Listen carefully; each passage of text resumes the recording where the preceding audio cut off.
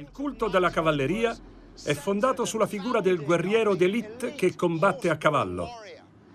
La prima arma d'attacco è la lancia. I cavalieri sono truppe d'assalto che si fanno strada verso la vittoria con una carica travolgente.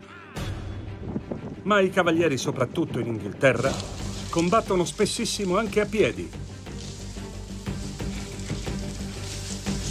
Un gruppo di miei amici esperti in diversi settori dell'archeologia sperimentale torneranno con me nel passato per aiutarmi a scoprire la realtà del mondo medievale.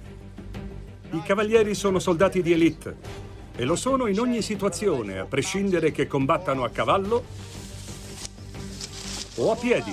Stiamo parlando di truppe scelte. Questo significa sottoporsi a un addestramento durissimo.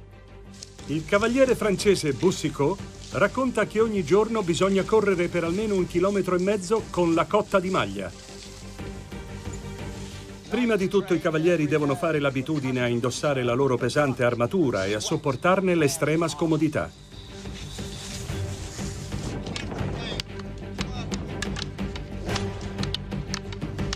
Questo robusto palo di legno per l'addestramento è l'equivalente medievale del sacco del pugile. Lo usano per esercitarsi con spade in legno. Molti testi dell'epoca raccontano che le spade in legno pesano il doppio di quelle di acciaio, quindi non sono più facili da brandire e servono a lavorare sulla forza e sulla resistenza. In battaglia i combattimenti sono duri, sanguinari e violenti e questi guerrieri usano ogni mezzo a loro disposizione. Lo scudo viene usato come un'arma, nel corpo a corpo o di taglio per colpire l'avversario. Sul campo di battaglia la sua prima funzione è di proteggere dalle frecce, ma una volta a contatto col nemico si trasforma anche in un'arma efficace.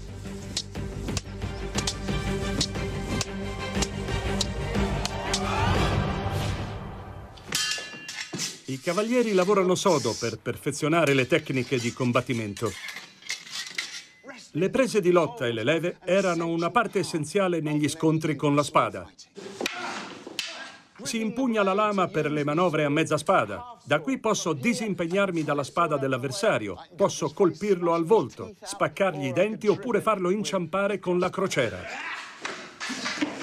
In battaglia rimarremmo schiacciati tra i due schieramenti, quindi cercheremmo di ricacciarli indietro. Ma il nemico si avvicina, si avvicina e alla fine siamo coinvolti in una fitta mischia, nella quale non rimane altra scelta che ricorrere alle prese e alla lotta. Le tecniche di lotta diventano preziose quando i cavalieri si devono affrontare sul campo di battaglia. Si rifanno a un codice di onore, la cavalleria, e il mio allenatore, il dottor Tobias Capwell, è un esperto di queste regole. I cavalieri sfidano altri cavalieri, persone della loro stessa classe sociale. E nella confraternita della cavalleria non sei obbligato a uccidere sempre persone del tuo stesso rango. Abbiamo per esempio la pratica del riscatto. Puoi obbligare l'avversario a consegnarsi, quindi diventa tuo prigioniero. Così puoi rivenderlo alla sua famiglia ricavando un ottimo profitto. Ma non si consegnano facilmente. Ma non si consegnano facilmente, bisogna sconfiggerli, non ucciderli. Ah, sì, certo. Ora, in questa posizione posso spezzarti il braccio. Può spezzarmi il braccio, in effetti potrebbe spezzarlo facilmente. Potrei stringere sempre più forte finché non... Mi arrendo. Ti arrendi. E poi ti do la mia parola. Mi arrendo. Ora sono tuo prigioniero, lasciami andare. Bene.